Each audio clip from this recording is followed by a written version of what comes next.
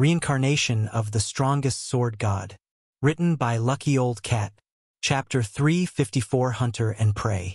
After killing Lone Tyrant, Shi Feng turned to face the remaining Dark Star members behind him. At this point, Shi Feng had thoroughly frightened these players. He only required one strike per person, a hundred strikes to bring about annihilation. In the blink of an eye, hundreds of players had died just like that. Moreover, even their guild leader, Lone Tyrant, could not withstand a single hit before the evil Rakshasa burned him to ash. The remaining Dark Star members felt a chill crawl down their spines when Shi Feng glanced at them. Their limbs felt like lead, incomparably heavy. At this moment, none of them had any courage to continue fighting. Meanwhile, many players watching from afar immediately uploaded the videos they had recorded to the official forums, creating a huge sensation. As a result, the name Black Flame became even more popular than before. Run. No one knew who had shouted this single word. However, all of the remaining Dark Star members expressed their unanimous agreement as they scattered and ran in all directions. With hundreds of players running away from him in all directions, even Shi Feng, as fast as he was, could not possibly kill all of them. Hence, Shi Feng decided to target the nine assassins and rangers who were being protected by a group of their companions. These players bore the dropped items from the Mechanical Slayer. Shi Feng might be able to ignore killing everyone else, but he could not ignore these nine. Damn! Why is my luck so rotten? One of the escaping assassins paled with fright when he saw Shi Feng dart towards his group. Seeing his escape was no longer an option, the assassin spun around and prepared for a desperate battle. Face me if you can. However, by the time this assassin turned to face Shi Feng, the blazing abyssal blade had already penetrated his chest. The assassin's HP quickly bottomed out, and three items dropped from his lifeless body. Among them, two were items dropped by the Mechanical Slayer. Shi Feng immediately grabbed the loot from the Mechanical Slayer and tossed them into his bag. He then charged towards his next target. By the time everyone from Darkstar had run out of absolute time's effective radius, Shi Feng had killed six people in quick succession, obtaining a total of 15 dropped items. As for the remaining three, they had escaped. Not a bad harvest. Shi Feng smiled satisfactorily as he looked at the new additions to his bag. Including these 15 items, he had obtained a total of 52 dropped items. That was practically half of the Mechanical Slayer's drops. Just as Shi Feng prepared to leave, he suddenly discovered the players from other guilds all barreling towards him. Meanwhile, every one of these players wore greedy expressions, and they all thought of Shi Feng as a fat sheep. If Shi Feng had only taken a handful of the loot, they would not have dared strike at Shi Feng even if someone put a gun to their heads. However, the number of dropped items Shi Feng obtained was simply too shocking. Hence, their greed had overtaken their fear. Although the strength Shi Feng displayed defied all reason, everyone had the courage to charge at Shi Feng because they knew that his explosive strength could only last for a short time. Moreover, large-scale silencing skills like the one Shi Feng used would definitely have a very long cooldown. Knowing that the situation had become unfavorable, Shi Feng immediately turned and ran. He had only recently used Absolute Time, so the skill was still on cooldown at that moment. Without the skill, he stood absolutely no chance against thousands of players. Boss Red Feather, Black Flame is trying to flee. It will be difficult to deal with him if we allow him to escape into White River City's safe zone. Should we use that item now? Sir asked. At this moment, Red Feather carefully considered the situation.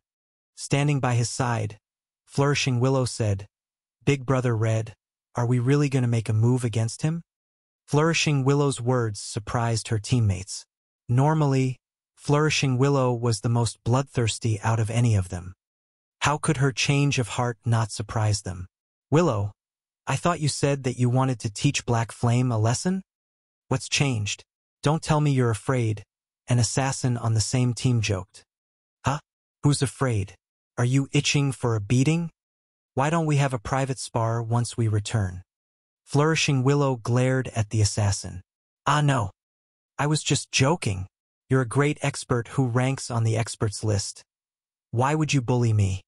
The assassin hurriedly said, concerned for his safety. Aside from their boss Red Feather, Flourishing Willow was the strongest powerhouse in their team, and nobody dared provoke her. Humph! Flourishing Willow proudly snorted.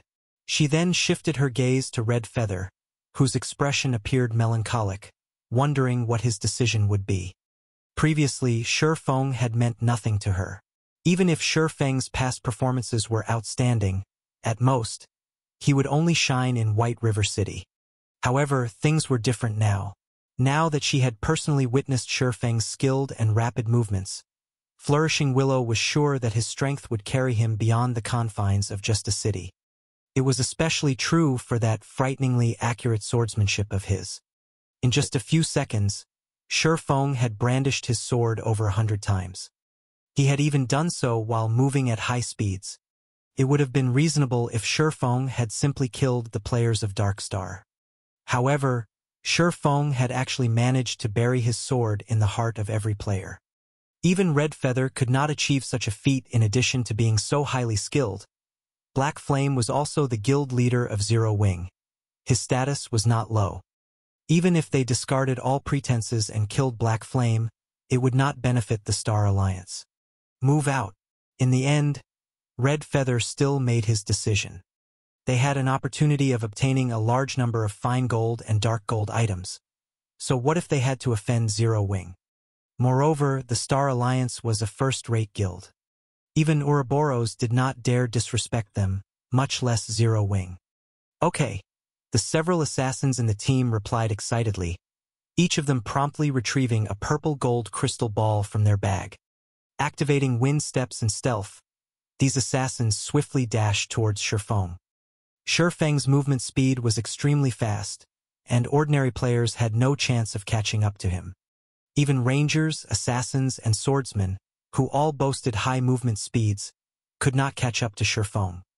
Surprisingly, however, the distance between Shifeng and the players chasing him gradually shortened.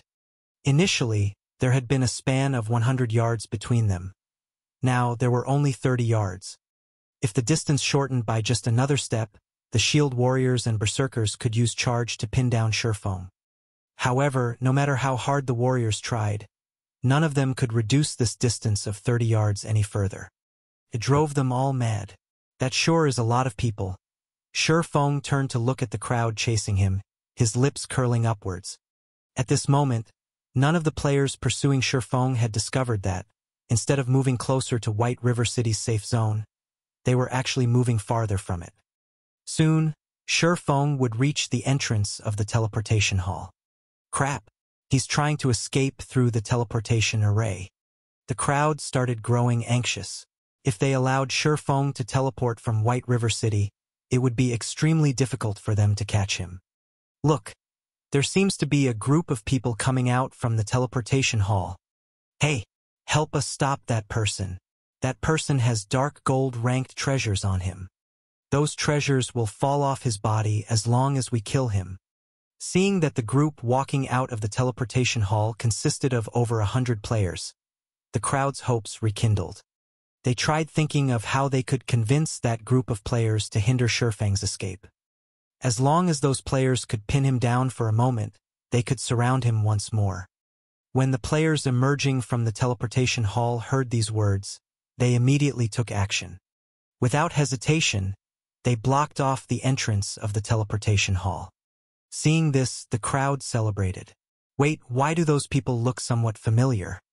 Eh, aren't the two great beauties standing at the front Zero Wings Fire Dance and Aqua Rose? Why would they be here? As the distance between them and the teleportation hall shortened, the crowd could gradually see more details of those hundreds of players. Suddenly, they realized that something was wrong. The gaze Aqua Rose and the others shot them was the same gazes that they had used to look at Shifeng. It was neither a gaze of ridicule or laughter. Rather, it was the predatory gaze a hunter used while watching prey.